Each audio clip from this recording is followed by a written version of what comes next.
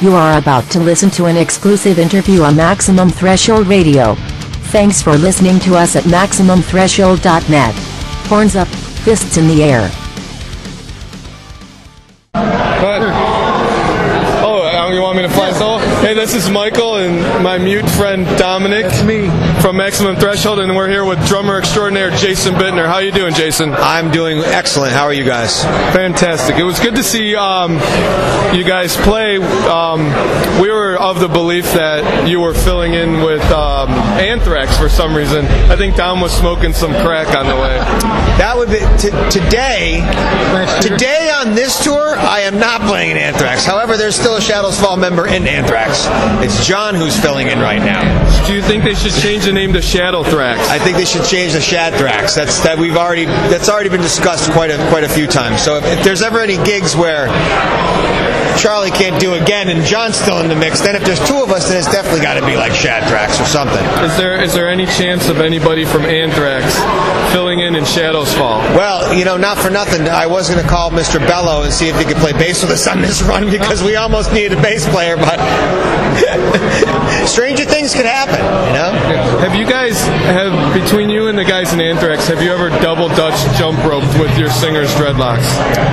No, but I've got them caught in my drum hardware quite a few times, and unfortunately, back in the old salad days when when we were coming up, there was quite a few times we'd have to, you know, share those hotel rooms, six dudes to a room, and got quite a few slaps in the face with them sharing a bed. God, get those goddamn dirty things off me, will you? So out of all the all the six dudes who had the stinkiest balls, I never smelled anybody else's. Mine were smelly enough, so Don, Don probably I'm gonna I'm gonna vote. I'm gonna leave no comment on this one. Probably probably me because I'm the drummer and I'm the guy sitting down in his, his own sweat all the time. Tranny question. Don, Don wants to know because like he likes ball Tranny sweat. question. Yeah. So so which which guy in the band is most likely to have sex with a post-op passable tranny? Not one that looks like that girl in the leather vest over there. Mikey T, right Uh-huh. there. This one. You're, you, The, the latest bass player. He would be the, the guy that would do that. you just got sold out that you would be the guy in the band most likely to sleep with a post-op tranny.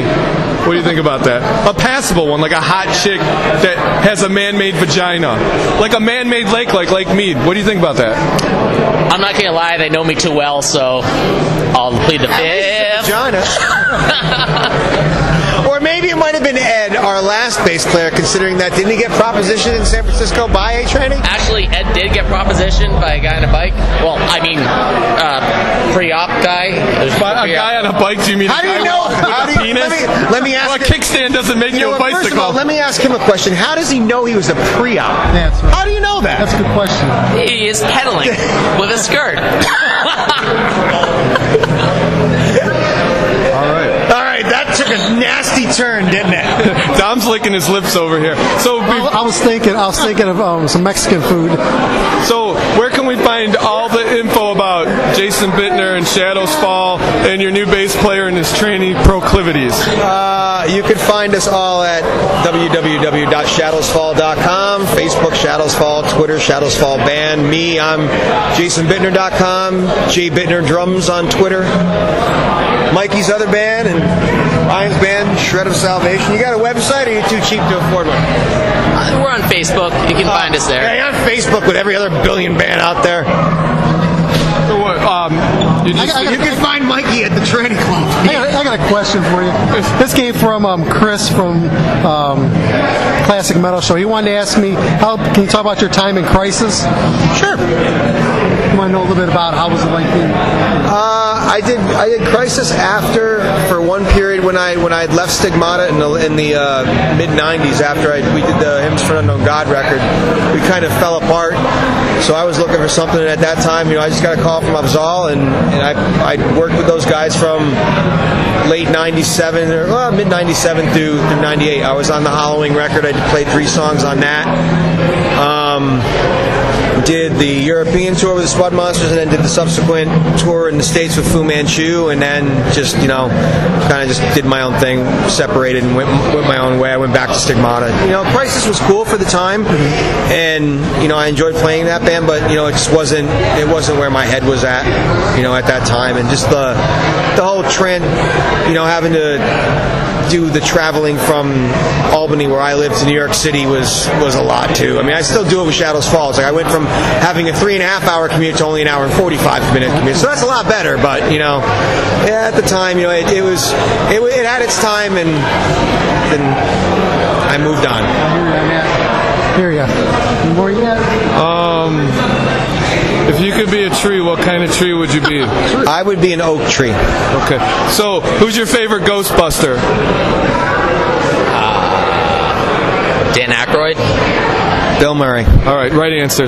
Drummer's always right. And um, so since we last talked to you, I love doing interviews for you guys. since we last talked to you, you gave us you gave us your shitting technique on the tour bus. Have you shared it with your new bass player or newest No, bass but player? He's been he's Oh, been I on experienced it. he's been he's been on a number of tours. He's usually standing where he is. So he's been with us for quite some time. He knows all the rules. He knows all the. You got any fun shitting stories? Yeah, the new rule is do not get 911 wings at Hooters on your day off with Matt because you might wake up with a bus rolling at about 80 miles an hour and not be able to stop. Yeah. That's when you're doing the hot That bag. last story was that the, I had to shit in a bag for. I couldn't believe that I finally had to shit in a bag after all these years. Yeah, We yeah. told, we told uh, Rob Dukes to watch out for flying shit from your bus. That was the sad part was I didn't throw it out the window. I didn't. I didn't. I didn't toss it. been better. We were you letting it marinate? No, no. I, I actually, I literally threw it out in my garbage can at my house. When it happened, we were like 20 minutes from my house. I'm like, you gotta be fucking kidding me! I can't.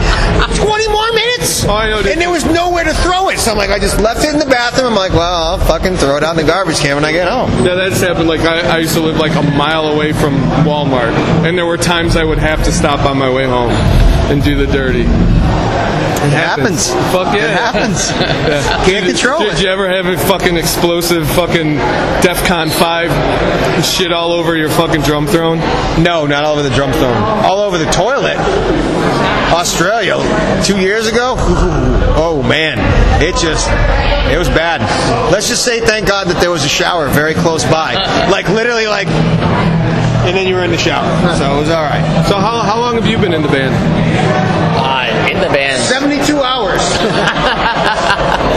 Oh, I said, I said how long has he been in the band, not how much longer he will he be. No, in the band. well, first of all, he's not even in the band oh, permanently.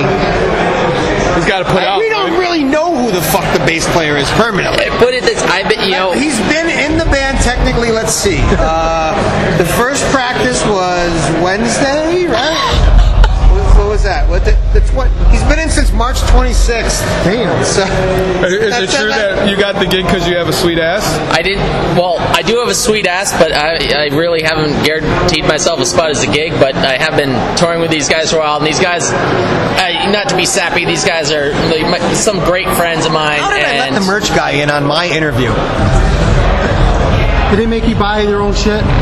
Absolutely. Do you get like one one new free shirt for every tour Free that you're on? download. Free download. What though? I, I had to pay to play on stage with these guys. Did they? Did they? Is it true He they? has to pay for all the gas. Did you, make him did, pay you, for the gas? did you make did you make him part of the band because he was giving shirts away to like chubby chubby girls for free for knobbers? He's smart. He doesn't do that. no, I, I was giving head away to the other band members. He was he was giving knobbers away to the other band members.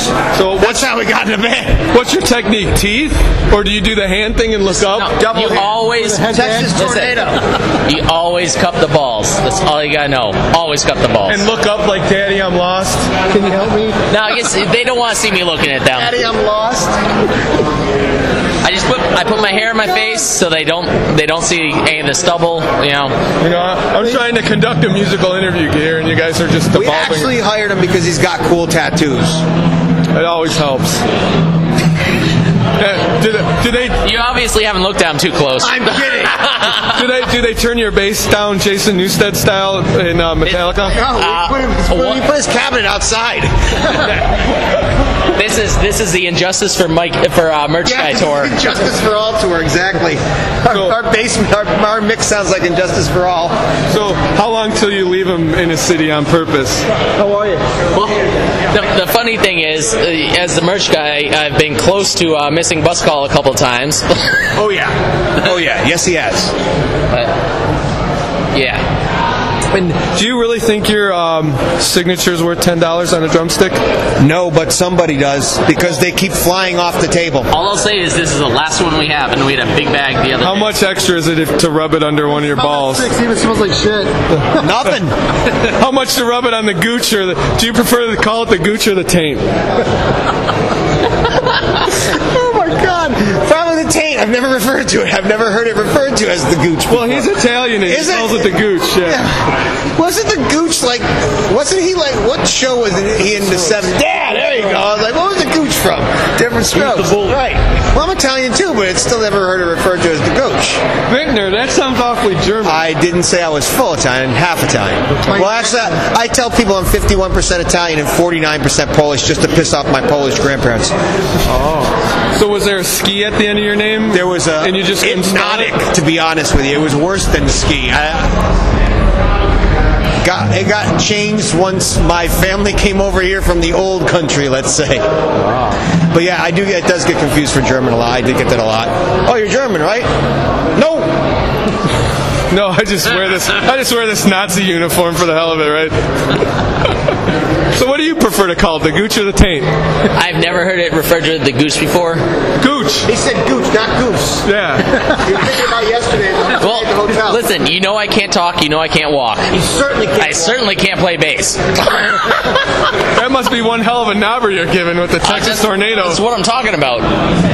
Hey man, you got you got to get your work your way to the top some way.